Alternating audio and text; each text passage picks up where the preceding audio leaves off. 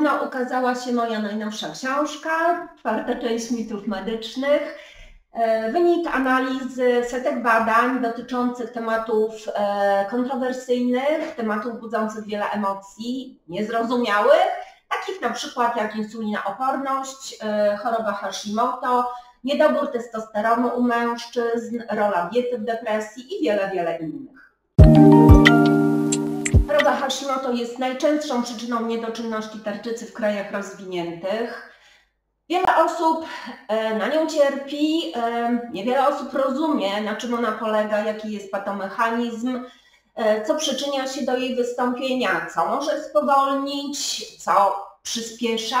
Piszę o tym, przytaczam badania, najnowsze badania w jednym z rozdziałów mojej książki. Insulinooporność jest bardzo modnym tematem, ale i dotyczy niestety wielu dorosłych Polaków.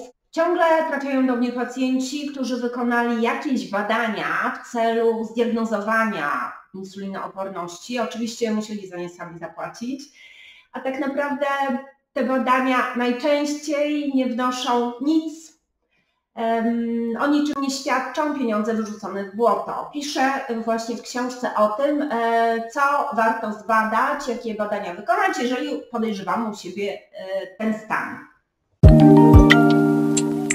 W książce tłumaczę, na czym w ogóle polega ta insulinooporność, co to takiego jest, skąd się bierze, jakie są przyczyny, jak można zwiększyć wrażliwość swoich tkanek na działanie insuliny, jak działa mózg w przypadku insulinooporności i jakie badania diagnostyczne warto wykonać, żeby to były sensownie wydane pieniądze, a nie pieniądze wyrzucone w błoto. Problemem, e, do którego zmieniło się podejście w ostatnim czasie, e, jest niedobór testosteronów u mężczyzn. O ile przez lata był, była ta kwestia traktowana po macoszemu, dla mężczyzn to często jest również ta, taki trochę wstydliwy temat, ale faktem jest, że niedobór testosteronu e, niesie ze sobą poważne zagrożenia zdrowotne i w niektórych wypadkach, kiedy są wskazania, warto pomyśleć o suplementacji. Tłumaczę to w jednym z rozdziałów mojej książki.